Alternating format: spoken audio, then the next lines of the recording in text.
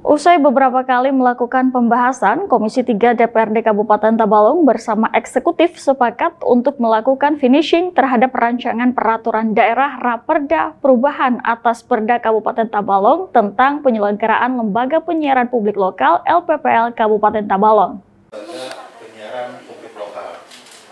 Komisi 3 DPRD Tabalong bersama Asisten Ahli Bidang Hukum Politik dan Pemerintahan Setda Tabalong Diskominfo Tabalong, BPKD Tabalong, Bagian Hukum Setda, Inspektorat, TV Tabalong dan Radio Suara Tabalong kembali melakukan rapat pembahasan mengenai Raperda Perubahan atas Perda Kabupaten Tabalong nomor 9 tahun 2015 tentang penyelenggaraan lembaga penyiaran publik lokal Kabupaten Tabalong pada Selasa 4 Juni 2024 di ruang Sekretariat DPRD Tabalong.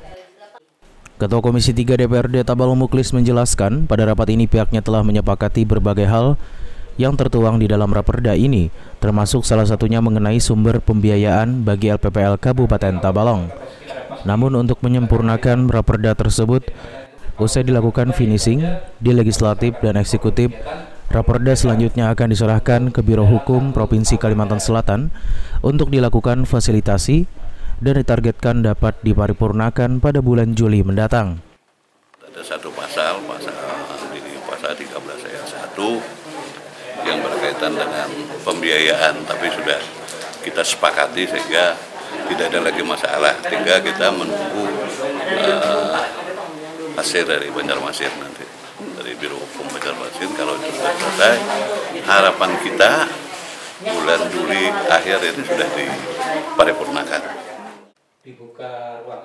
Adanya perubahan terhadap perda tentang penyelenggaraan LPPL Kabupaten Tabalong dikarenakan adanya peraturan pemerintah nomor 46 tahun 2021 tentang pos, telekomunikasi, dan penyiaran, serta adanya penyempurnaan pengelolaan LPPL Kabupaten Tabalong, sehingga perlu dilakukan penyesuaian terhadap peraturan daerah tentang penyelenggaraan lembaga penyiaran publik lokal Kabupaten Tabalong.